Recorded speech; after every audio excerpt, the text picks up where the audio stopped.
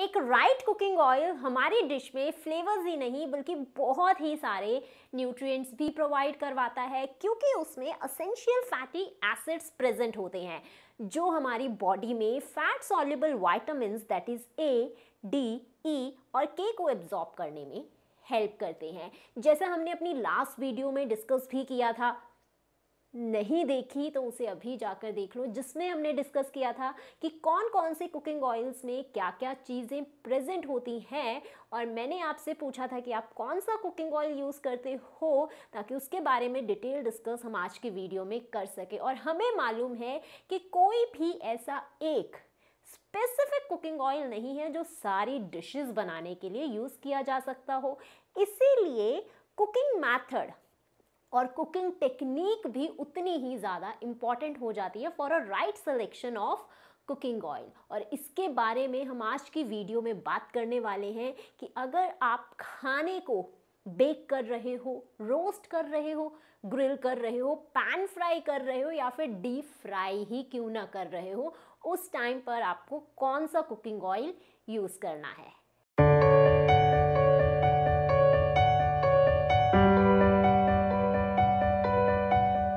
Hello, नमस्ते, सत श्रीकाल, आदाब, कैसे हैं आप सब? I hope all of you are good welcome back again this is your dietitian doctor Happy जब भी हम खाना बनाते हैं तो हमारे ऑयल का उस टेम्परेचर पर स्टेबल होना बहुत ही ज़्यादा ज़रूरी हो जाता है। अब ये स्टेबिलिटी क्या चीज़ है?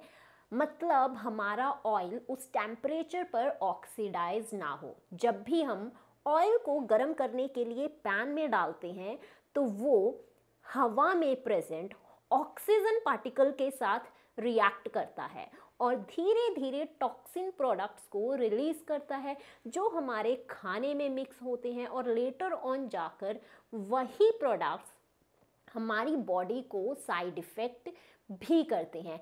इसीलिए जो भी कुकिंग मेथड हम अपना रहे हैं, उस टाइम पर हमारे ऑयल का, उस टेम्परेचर पर स्टेबल होना बहुत ही ज़्यादा ज़रूरी हो जाता है। अब जैसा हमने पिछली वीडियो में डिस्कस किया था, अरे भाई, अगर अभी तक नहीं देखी तो उसे जाकर देखो कि सभी ऑयल्स में सैचुरेटेड फैटी एसिड्स प्रेजेंट होते हैं। तो जब भी हमें डीप फ्राई करनी है तो उस टाइम पर ऐसा ऑयल चूज़ करना है जिसमें सबसे हाई अमाउंट में सैचुरेटेड फैटी एसिड्स प्रेजेंट हो। क्योंकि जितने हाई अमाउंट में सैचुरेटेड फैटी एसिड प्रेजेंट होते हैं, हमारा ऑयल उतना ही हीट स्टेबल होगा, वो इजीली ब्रेक डाउन नहीं होगा और टॉक्सिन प्रोडक्ट रिलीज़ नहीं होगा। इसीलिए डीप फ्राई करने के लिए आप मस्टर्ड ऑयल यूज़ कर सकते हैं। कोकोनट ऑयल यूज़ कर सकते हैं, ग्राउंडनट ऑयल यूज़ कर सकते हैं, या फिर एंड में आप देसी घी भी यूज़ कर सकते हैं, जो बहुत सारी स्वीट डिश को बनाने के लिए यूज़ किया भी जाता है, क्योंकि उसका स्मोकिंग पॉइंट, हीट स्टेबिलिटी, जो टेम्परेचर है, वो बहुत ही ज़्यादा हाई होता है।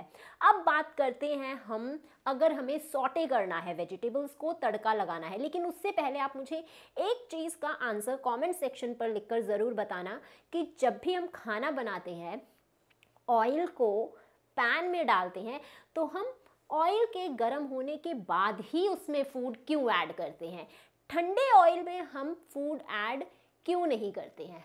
अब चलिए फिर से चलते हैं वीडियो की तरफ़ कि अब हमें तड़का लगाने के लिए, सॉटे करने के लिए वेजिटेबल्स और दाल्स को कौन सा ऑयल यूज़ करना चाहिए? बहुत सारे लोग राइस ब्रांड सेफ्लॉर या फिर सनफ्लावर ऑयल को यूज़ करते हैं। बट ये तीनों ऑयल्स बहुत ही ज़्यादा रिच होते हैं पॉली अनसैचुरेटेड फैटी एसिड्स में।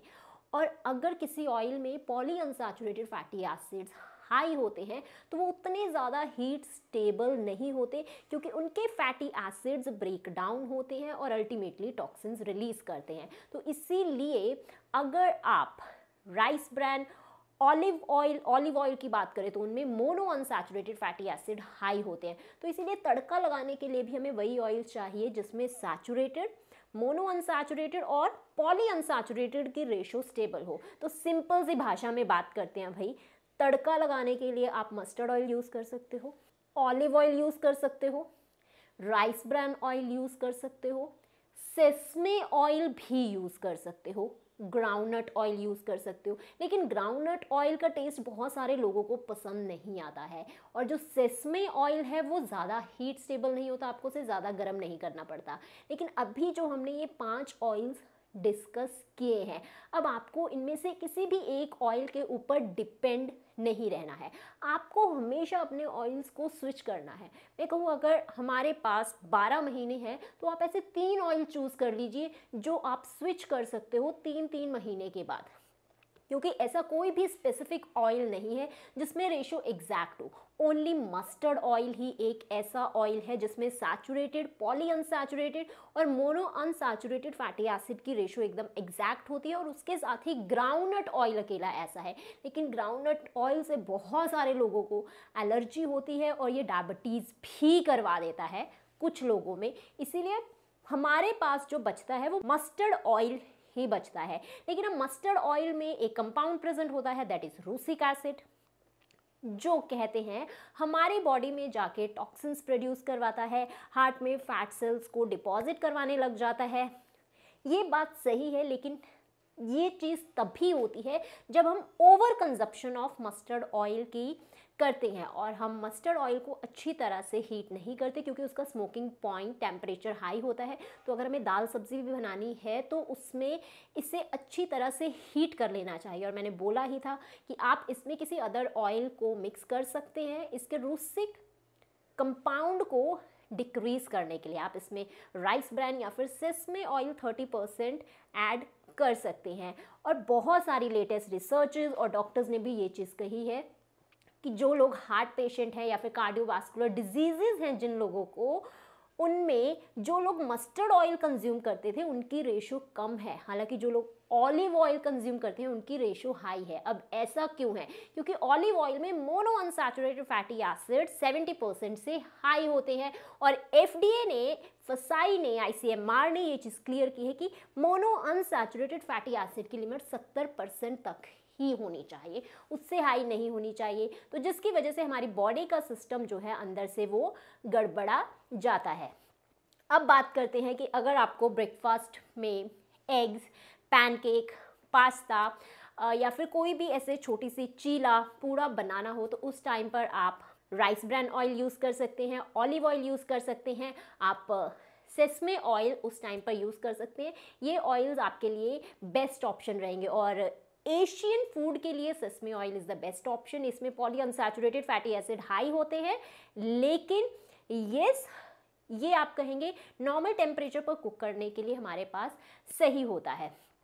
अब बात करते हैं कि जो सनफ्लावर लो, क्योंकि सनफ्लावर ऑयल भी बहुत ही ज़्यादा लोग यूज़ करते हैं। तो सनफ्लावर ऑयल भी उसका टेम्परेचर बहुत ज़्यादा हाई हम लेकर जा सकते हैं, लेकिन उसमें एक दिक्कत होती है कि बहुत सारे केसेस में sunflower oil type two diabetes cause करवा देता है। वो एक ऐसा कंपाउंड रिलीज़ करता है जिससे डायबिटीज़ के पेशेंट्स हमें बहुत सारे देखने को मिलते हैं। इसीलिए सनफ्लावर ऑयल को अगर आप अवॉइड करें तो ज़्यादा बेटर है। उसकी जगह पे आप मस्टर्ड ऑयल को ज़रूर शिफ्ट कर सकते हैं। और अब बात करते हैं कि अगर आपको जॉइंट्स में पेन होता है तो उस टाइम पर आपको कौन सा ऑयल लेना चाहिए? उस टाइम पर आप ऑलिव ऑयल ले सकते हैं। अगर आपको डायबिटीज़ है, हाइपरटेंशन है तो उस टाइम पर आप राइस ब्रांड ऑयल ले सकते हैं। आप फ्लैक्सीड ऑयल ले सकते हैं, लेकिन फ्लैक्सीड ऑयल का कभी भी आपको तड़का नहीं लगाना है। अगर आपको उसका तड़का लगाना है तो उसे आपको किसी और ऑयल में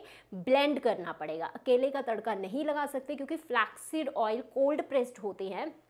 और उनका टेम्परेचर बहुत ही ज़्यादा लो होता है, जो हमारे you can to say no cooking के लिए वो बना होता है। इसीलिए फ्लैक्सीड ऑयल का आप तड़का नहीं लगा सकते। और अगर आप तड़का लगाएँगे तो आपको रिफाइंड वर्जन चाहिए होगी उसकी और रिफाइंड वर्जन में ट्रांसफैटी एसिड्स आपको डेफिनेटली मिलेंगे, जो हमारी हेल्थ के लिए अगेन सही नहीं होते हैं। और अब बात करते हैं सन ड्रॉप और सेफोला गोल्ड ऑयल के बारे में। सन ड्रॉप बेसिकली आपका सनफ्लावर ऑयल होता है और सनफ्लावर ऑयल आपका रिच होता है vitamin E A vitamin B उसमें प्रेजेंट होता है। मोनो अनसैचुरेटेड फैटी एसिड और poly unsaturated fatty acid ratio की भी बहुत ही ज़्यादा अच्छी अमाउंट में इसमें प्रेजेंट होती है। लेकिन अगेन ये हाई टेम्परेचर पे तो स्टेबल होता ही है, लेकिन ये बहुत सारे लोगों में दिक्कत करता है डायबिटीज़ कॉज करवा देता है हाइपरटेंशन की दिक्कत होने लग जाती है, क्योंकि ये आर्टरीज में एथीरोसिक्लोरोसिस करवाने लग जाता है। इसीलिए it is best to avoid sunflower oil for deep frying no doubt it is the best option for deep frying लेकिन आप कभी कभार इसे यूज़ कर सकते हो। आप इसे और मस्टर्ड ऑयल को डीप फ्राइंग के लिए स्विच कर सकते हो। सनफ्लावर पे आप बहुत ज़्यादा डिपेंडेंट नहीं रह सकते। और वहीं पर अगर हम सेफोला गोल्ड की बात करें सेफोला गोल्ड बहुत ही ज़्यादा बिकता है। अगर हम इंडिया में देखें तो Saffola gold basically is a blended oil जिसमें आपका eighty percent I think rice bran oil होता है रिफाइंड राइस ब्रैन ऑयल और ट्वेंटी परसेंट उसमें आपका सेफ्लॉर ऑयल होता है ट्वेंटी परसेंट अगेन वो भी रिफाइंड ही होता है इसमें। तो इसलिए मैंने अपनी लास्ट वीडियो में भी आपको बताया था कि जब भी आपको कोई भी ऐसा एक, देखो पर्टिकुलर ऑयल नहीं है जो हमें सारे के सारे एसेंशियल फैटी एसिड्स प्रोवाइड करवा सके तो आप ब्लेंडिंग ज़रूर कर सकते हो। लेकिन वो मिक्सिंग ऑयल आपको घर में खुद करनी है सेपरेट ऑयल्स अपने किचन शेल्फ पे आप रख सकते हैं। देन जब आप खाना बनाएँ तो उस टाइम पर आप मिक्स कर सकते हैं। मार्केट से आपको कोई भी ब्लेंडेड ऑयल नहीं लेना है।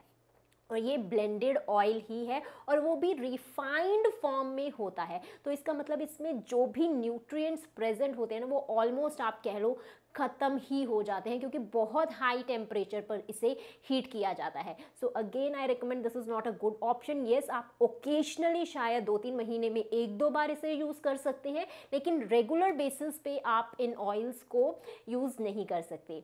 I hope guys this video में be beneficial for you and may add a little value in your life.